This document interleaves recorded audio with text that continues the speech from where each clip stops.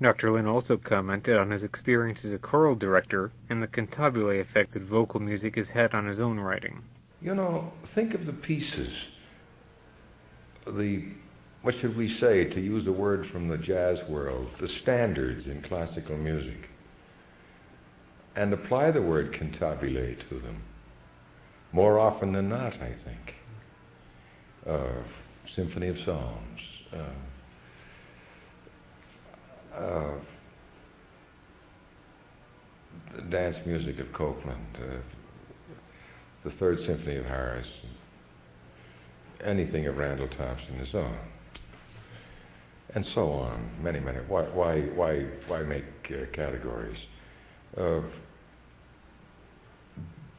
do we not want our audience to leave the hall with the music still going? Or if we don't, why do we want them there in the first place?